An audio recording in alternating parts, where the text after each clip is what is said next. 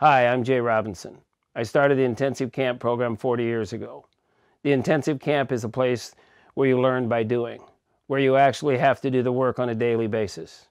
Everything here at camp is done for a reason, and we have 40 years to back up the reasons why we do it.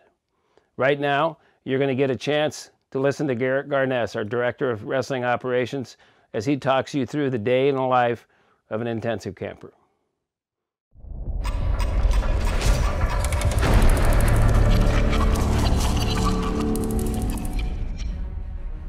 Hey guys, I'm Garrett Garness and I'm the Director of Wrestling Operations for J. Robinson Intensive Camps.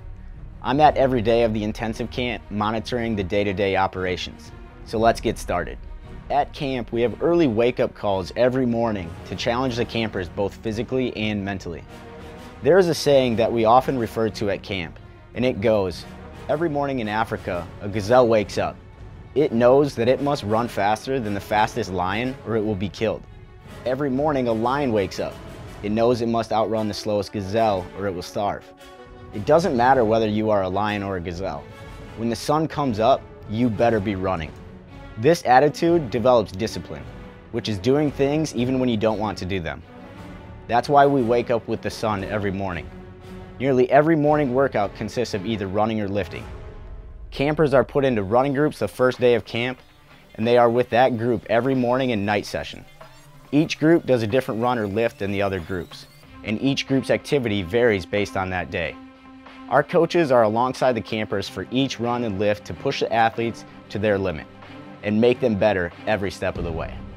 Before every session, we check every camper to make sure they are properly prepared. That includes proper clothing, wrestling and running shoes, a filled water bottle, and assigned workbook activities completed. This is one way that we teach wrestlers that they are accountable for their actions. After the morning workout, athletes must shower before going to breakfast. We provide three all-you-can-eat meals every day to make sure the campers have enough energy throughout the entirety of the camp. The next session starts at approximately 10 a.m., so the campers have enough time to rest before the next session. The 10 a.m. practice is typically our technique practice. At every technique practice, wrestlers are learning the many different moves and wrestling positions that are needed to make a great wrestler. With a camper to staff ratio of 10 to 1, your wrestler is sure to learn a variety of different techniques from our coaches that come from across the U.S. One way that we do things differently from every other camp in the country is that we consistently teach focus and work ethic and practice habits. Not only do we teach these fundamental wrestling techniques, but we teach them how to train so that they can take these habits home with them after camp to continue their development. After practice, the athletes must shower again before heading to lunch at roughly 12.30. It is important that the campers refuel and rest during this time before coaches and campers get back on the mat at roughly 3 o'clock for the day's hard practice. This practice is designed to dial up the intensity. Hard drilling, live wrestling, and conditioning exercises are the main focus of the hard practice and are meant to push the campers to their limits both physically and mentally. Although this is the hardest practice of each day, it is also the most rewarding. In this session, you will learn how to deal with adversity when you are tired and maintain focus and intensity during the practices. After hard practice, coaches and campers go to dinner and rest from the grueling hard practice. Although the day is almost complete, the campers need to refuel for one final practice which begins at roughly 7.30.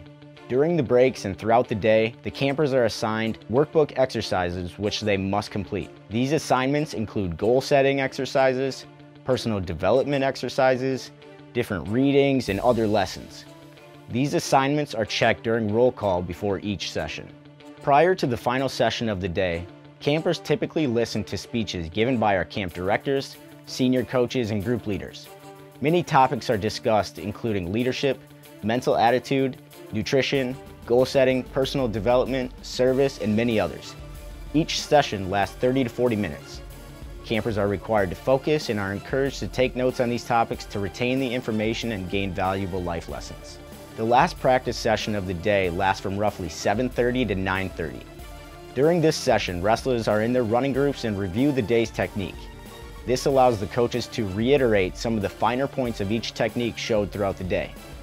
Some groups may also take part in another run or lift to end the day on a good workout. After the final session and the campers are showered again, they typically congregate in the dorms and can visit the camp store, watch a movie in the lounge, and hang out with the other coaches and campers. Bed checks are at 11 p.m. and the campers need to get their rest before they get up the following morning to do it all over again. We hope this video has been a big help to you and helps you understand our curriculum and philosophy here at J. Robinson Intensive Camps.